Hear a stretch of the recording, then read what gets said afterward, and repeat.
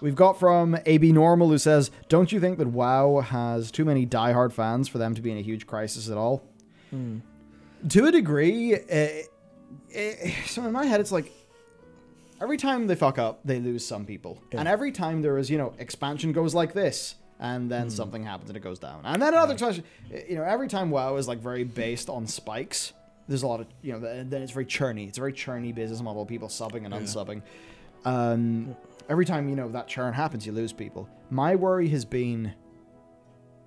I mean, like, I should be a diehard fan. Hmm. And you, you take me back to, you know, the Legion revival and, you know, other times I, I like I am, but it's like they went up and down and up and down. And, you know, Mm. it's like, I guess for me, it was really that combo of their response to some of the 9 0 uh, issues.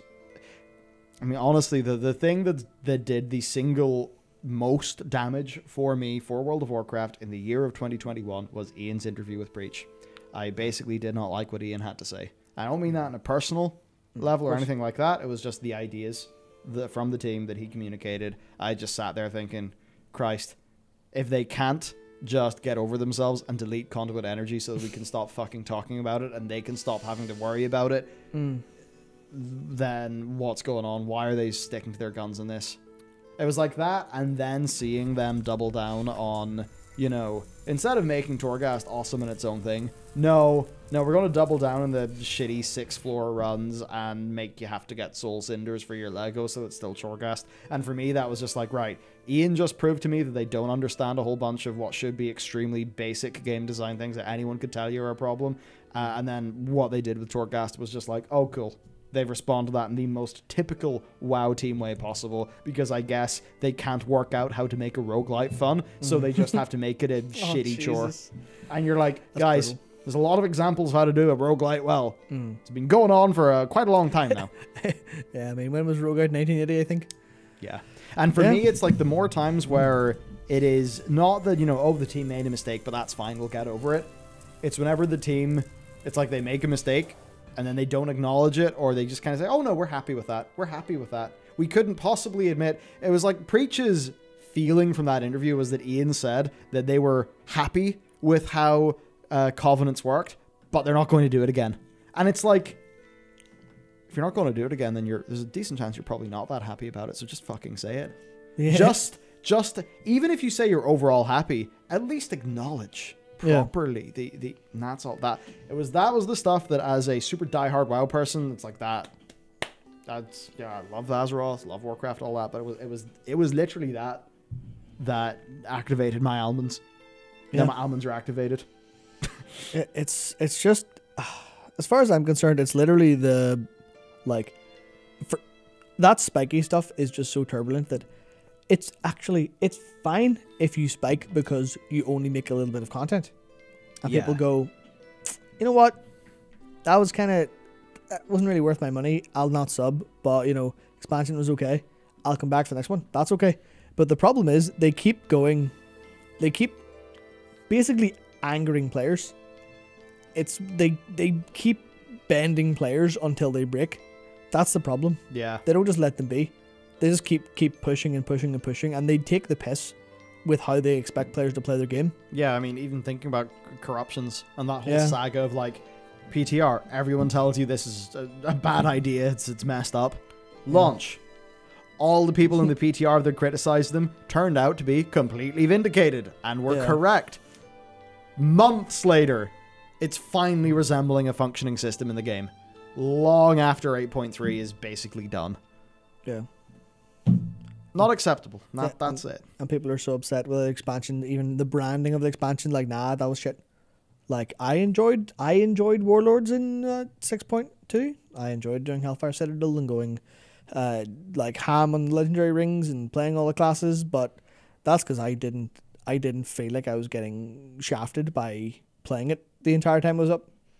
I was like, yeah, Yeah, I'm- it's- out, I'm out and back in. Sure. Imagine WoD, but because we're, in a WoD like situation now, and they've just ran out of stuff. Mhm. Actually, now that I think about it, Yeah. and uh, with that, it's like imagine in WoD you had that situation where you know at least if you're a raider, you can raid log and have fun. Yeah. But suddenly you feel like you got a whole bunch of chores, and if you want to at least try raiding or something on a new character, It's Mhm. like you got all that chungus to go through first.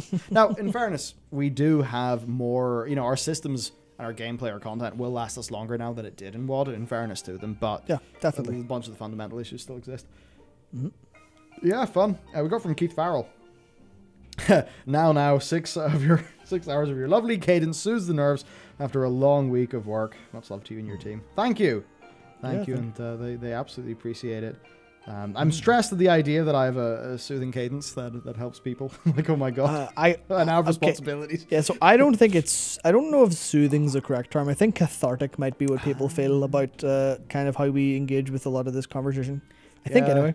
But I guess what I like is, you know, I think about like myself watching streams and stuff uh, when I was like younger and I had more Mm. time to actually consume content. Yeah. So the crazy rush we got right now, and it's like, yeah, I was, it was kind of like, oh, there's something like that in a sketch. I'd be like, cool. I just know I have this like thing that holds down that evening. I will be okay. It's fine. I'm I'm happy.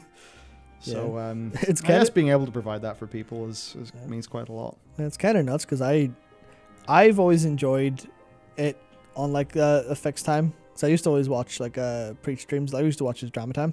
Ah, Haven't yeah. long time, but I used to. Well, now it kind of almost interferes with the prep for this, which is weird. But uh, the yeah, it's like I, I like watching those like scheduled streams, and now that I'm like you know here, it's like I actually enjoy it more. But now that I'm actually doing it, it's cool. Yeah, yeah, it's really fun. cool. It's great. Um, Christopher Bullard said, "People enjoy WoW too much. it's like a Hmm. wife who stays with the abusive, toxic husband simply because they can change, and I love them. People deserve better. They need to start realizing that." So yeah, I agree. I wouldn't say it's they enjoy WoW too much. I'd say it's like they, uh, you know, they they sort of willfully ignore too many problems.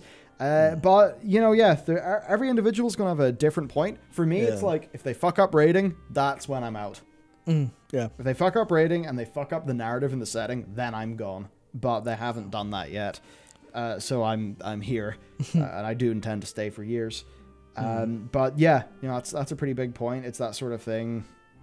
You gotta be okay to quit, and try something else if that's not Yeah. what you want to do entirely. Yeah, as much as as much as I think that analogy is way out of uh, way out of scale, way out of scope. Oh, true, absolutely. I yeah. the core principle behind it, I think, is is correct. Of just like you can stop playing World of Warcraft if you don't want to play World of Warcraft. Don't. That will make your life better. It will make your time with World of Warcraft in the future better, and in the long term, it will make World of Warcraft better because if you if you pay them when you're not happy with it, you're telling them that you like it. That's it. Yeah. Yep. To Yeah, say indeed. stop. Thank you.